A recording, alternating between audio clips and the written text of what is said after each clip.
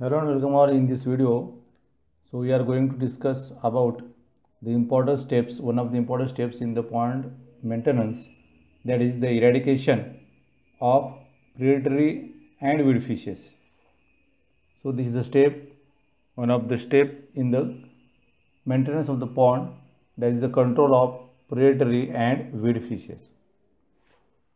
So once again I request hereby that before watching this video please watch all that videos which are made on the pond maintenance. So let us see the control of predatory and weed fishes or the control of or eradication of predatory and weed fishes. So the fishes which feed the fish which feed on our cultivable, uh, our cultivable species are called as that particular fishes are called as predatory fishes.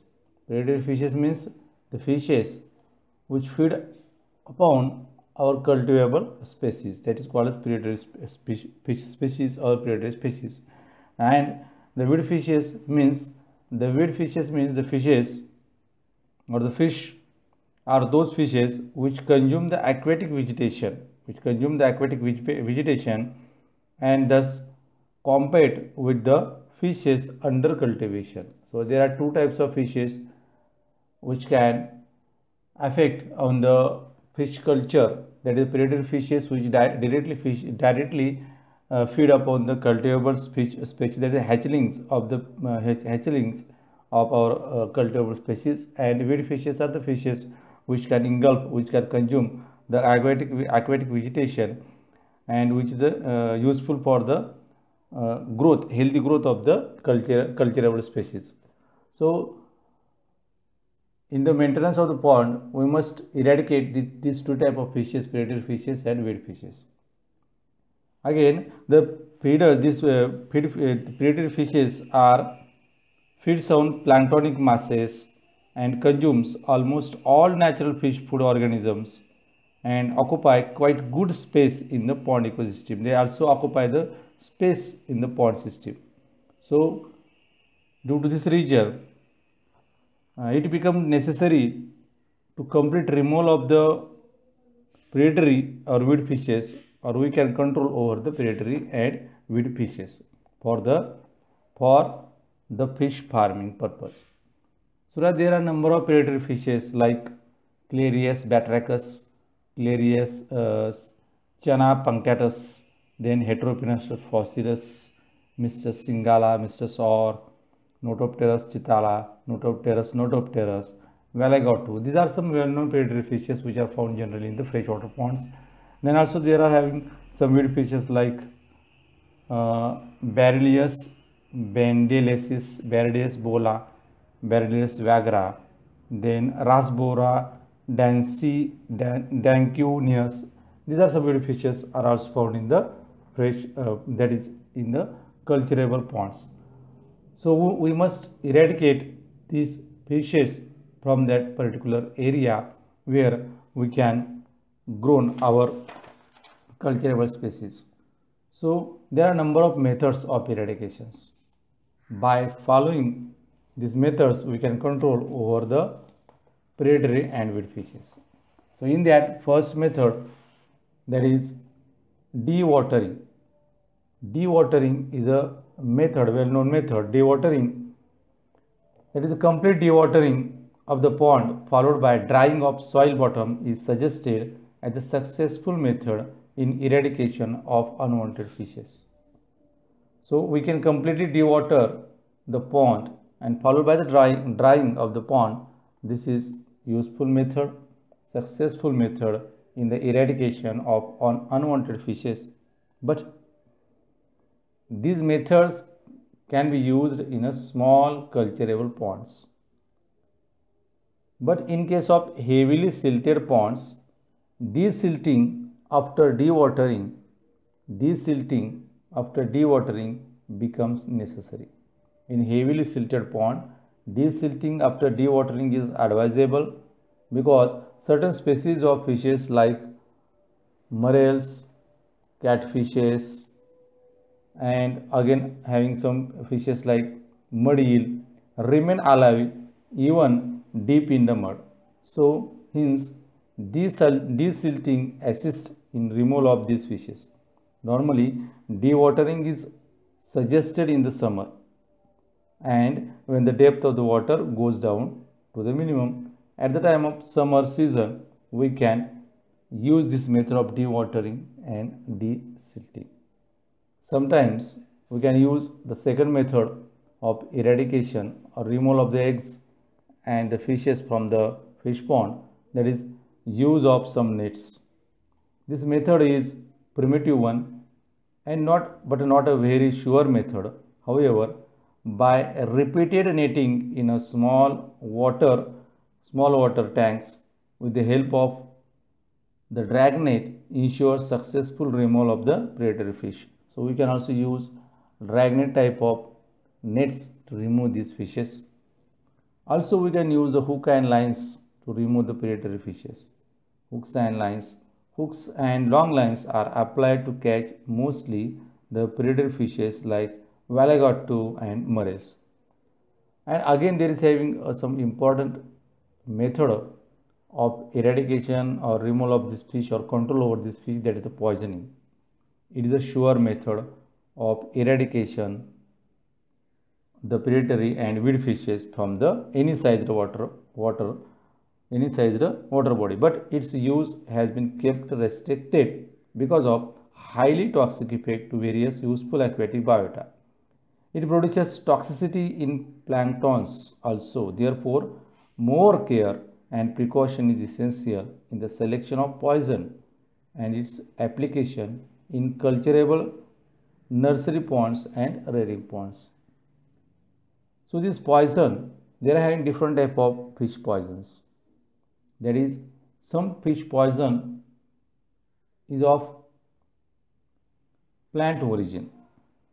The, these are there are number of plants number of plants which may be used for fish poisoning and various parts of the plants such as stem, bark, seed, leaves and roots of some plants can be used as the material for the fish poisoning.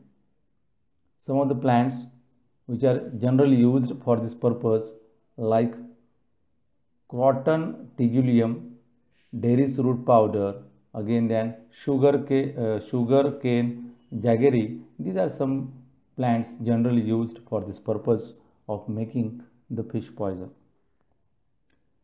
Then we can use derris root powder. Derris root powder containing ingredient as rotenone this derris powder having ingredient as rotenone and is the most commonly used it is derris root powder is most commonly used fish poison it acts as a contact poison it acts as a contact poison and uh, it damages the respiratory system of the unwanted fishes and ultimately causes the death of that predatory and unwanted fishes. It can damage the respiratory system of the unwanted fishes and it is effective up to the depth of 1.5 meter on hot sunny days. We can apply this powder effective up to the depth of 1.5 meter on hot sunny days in the summer. Majority of the weed fishes are killed at 4 mg per liter of derris powder and air breathing fishes like murrels, then climbing perches, then mud eel, etc. can be killed by dose of 6 to 10 mg per liter of derris powder. And this powder or this derris powder mixed with the water and spread over the pond surface. This poison is very much effective in shallow water. The poisoning can be effective of the derris root powder last for the the effect of the poison of the derris root powder last for 4 to 12 days. 4 to 12 days. And the effect of this powder of the poison made by this derris root powder can be remain about 4 to 12 days. When applied in range of 4 to 20 milligram per liter. Then it should be applied one month before stocking of fingerlings in ponds. We should apply this powder one month before stocking, before stocking of the culturable fish species. We can also use mahua oil cake. Mahua oil cake is also used as a fish poison and its active ingredients like rasparin, saponin is poisonous for the predatory fishes.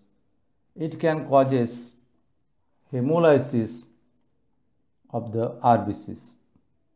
Its recommended application is 200 to 250 mg per liter to fish ponds. It causes hemolysis in the RBCs and that can lead to the death. Poisoning, poisoning effect remains for Mahua oil cake remains for about 21 days from the day of application. Its application should be done at least a month before the stocking of the carp spawn in the nursery ponds. And we can also use sugar cane jaggeries the sugarcane jaggery at 1% concentration be used in the fish pond for eradication of unwanted fish species and the effective ingredient is saponin in this sugarcane jaggery. Then we can also use some chemicals like chlorinated hydrocarbons, chlorinated hydrocarbons like aldrin, dieldrin, endrin, Tafidin 20, these are some chlorinated hydrocarbons. Aldrin, dieldrin, endrin, tafid, tafidrin 20 are applied for the eradication of predatory and avid fishes. We can apply aldrin at 0.2 mg per liter, dieldrin at 0.01 mg per liter, endrin for 0.01 mg per liter and tafidrin 20 for 0.008 mg per liter. And uh, this can effective in eradication of many unwanted species of the fishes. And their toxic effect remains for about 12 to 15 days in the pond. And lastly we can also use some organophosphates as a fish poison like phosphamidon, thiometine, DDVP that is dimethyl dichlorovinyl phosphate. These are some chemicals which can also used as a fish poison for the eradication of unwanted predatory and weed fishes from the culturable ponds. So these these are some steps for the method of eradication of predatory and fishes. So once again thank you for watching this video and if you like this video then share with your friends and subscribe this channel. Thank you.